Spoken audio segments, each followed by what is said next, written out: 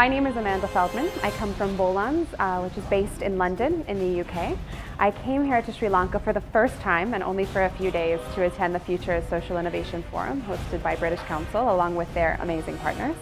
And I came for a few reasons. I met the delegation in the UK I realized um, that the work they're doing here and their vision in terms of corporates and their involvement in social innovation was really remarkable. And I just wanted to come and learn more and also help however we could stretch the vision for what social innovation can look like in Sri Lanka and how every person in the ecosystem here, from entrepreneurs to investors to uh, intermediaries all the way to corporates, can play a part in building um, social innovation in Sri Lanka.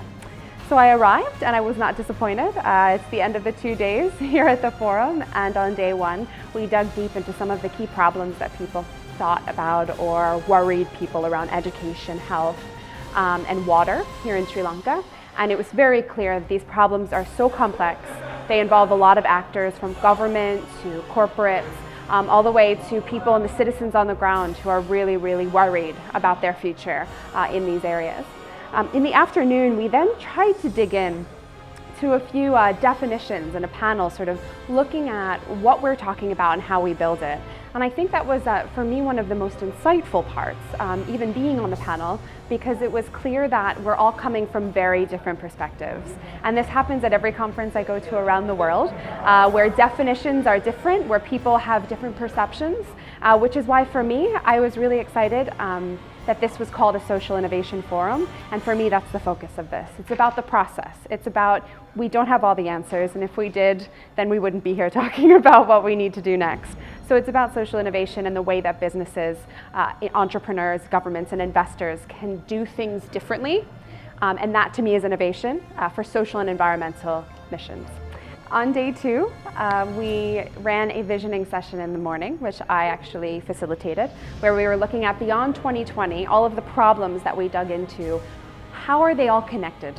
Uh, how does this all connect at a system level and why do we need a much bigger stretch in our ambitions, the way we look at problems, their interconnectivity, and also what we want uh, from the world. Basically, are we gunning towards breakdown, which is sort of the terrible scenario where nothing goes well and all of these problems are at the worst?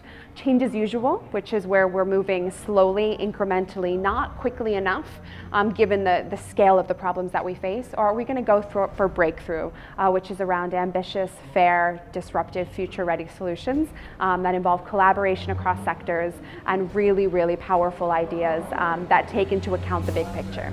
So once we did that visioning, we then jumped into, okay, now that we have this, the problems and the big picture, let's look at solutions.